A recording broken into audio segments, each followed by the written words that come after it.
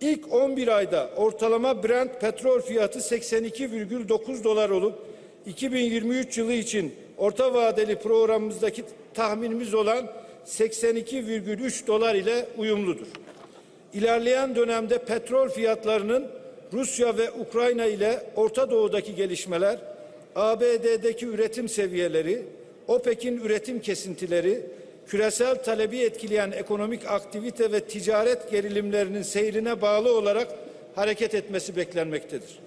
Bununla birlikte Ukrayna ve Orta Doğu'daki savaş ortamının genişlemesi gibi jeopolitik risklerdeki artışlar özellikle enerji ve gıda fiyatları üzerinden küresel enflasyonu dolayısıyla küresel ekonomiyi olumsuz etkileme potansiyeli taşımaktadır.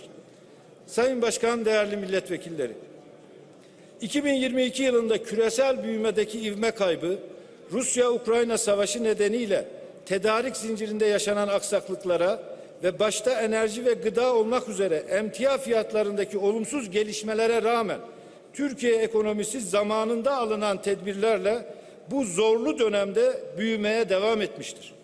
İktisadi faaliyetin canlılığını sürdürmesiyle ülkemiz 13 yıllık kesintisiz büyüme başarısı göstermiş.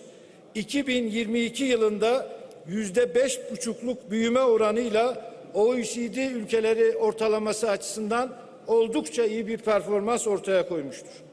Bu dönemde gelişmekte olan ülkelerin ortalama 4,1, gelişmiş ülkelerin ortalama 2,6 oranında büyüdükleri düşünüldüğünde Türkiye'nin olumlu yönde ayrıştığını rahatlıkla ifade edebiliriz. Salgın sonrası dönem büyümelerine bakılacak olursa dünya ekonomisinin 2020-2022 döneminde kümülatif olarak yüzde yedi büyümesine karşın Türkiye ekonomisi kümülatif olarak yaklaşık yüzde yirmi büyüyerek küresel ekonomilerden olumlu ayrışmıştır.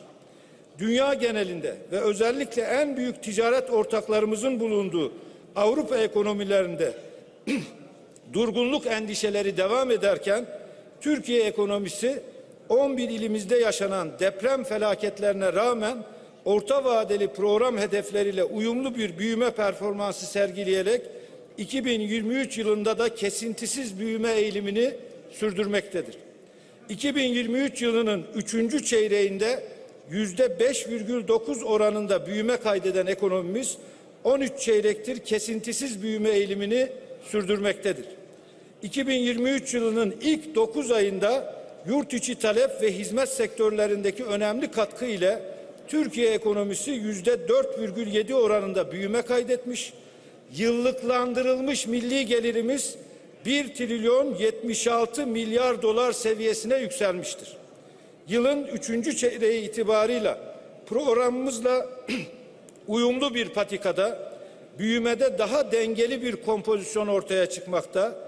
Üçüncü çeyrekte tüketim ivmesinin hız kesmesi, makina teçhizat yatırımlarındaki güçlü artış öne çıkmaktadır.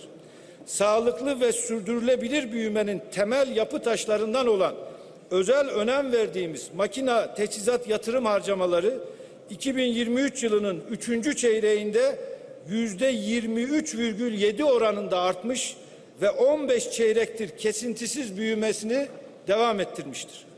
Ayrıca net mal ve hizmet ihracatının ekonomik büyümeye yaptığı daraltıcı yöndeki katkının bir önceki çeyreğe göre azalması ile ana sektörlerin tümünde büyümenin gerçekleşmesi öne çıkan diğer unsurlardır.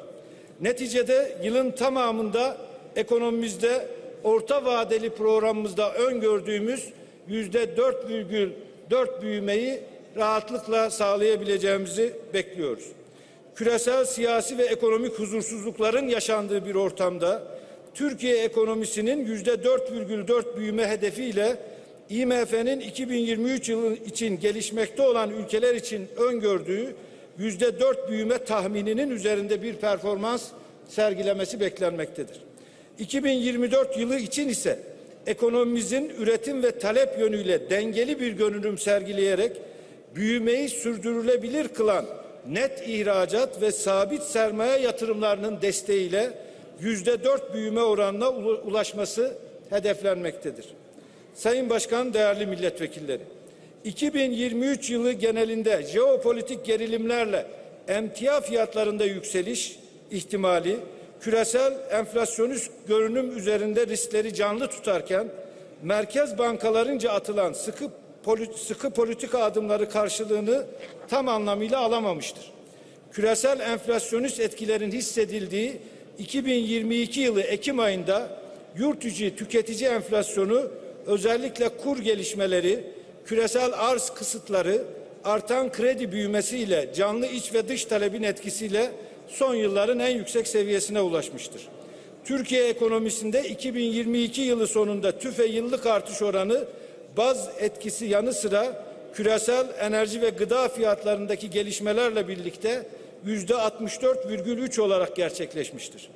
2023 yılında döviz kurunda yaşanan gelişmeler, hizmet enflasyonundaki katılık, gıda fiyatlarındaki yüksek seyir, vergi düzenlemeleri ve maliyet baskılarına bağlı olarak güçlenen atalet etkisi enflasyon görünümünde belirleyici olmuştur.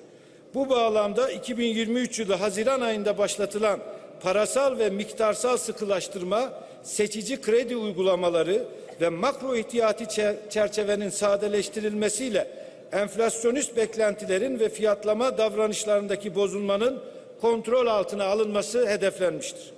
Para ve maliye politikaları arasındaki şeffaf ve güvenilir eşgüdüm ile 2024 yılının ikinci yarısından sonra enflasyonda yıllık bazda belirgin bir düşüş beklenmekte. Bu dönemden itibaren kalıcı bir dezenflasyon sürecine geçilmesi öngörülmektedir. Nitekim açıklanan güncel veriler son aylarda enflasyonda bir düşüş eğiliminin başlamış olduğunu göstermektedir. 2022 yılında açıklanan aylık enflasyon oranlarının ortalaması yüzde 4,26 düzeyindeyken son 3 ayda açıklanan aylık enflasyon oranları ortalaması yüzde 3,82 düzeyindedir.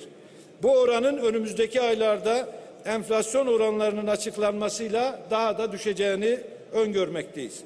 Bu süreçte dezenflasyon politikalarımızın devamlılığını sağlayarak 2025 yılında istikrar dönemine geçilecek, enflasyondaki gerileme hız kazanacak, öngörülebilirlik artacak ve 2026 yılında enf enflasyon oranı tekrar tek haneli rakamlara çekilecektir. Daha fazla video izlemek için kanalımıza abone olabilir, ilk izleyen olmak isterseniz bildirimleri açabilirsiniz.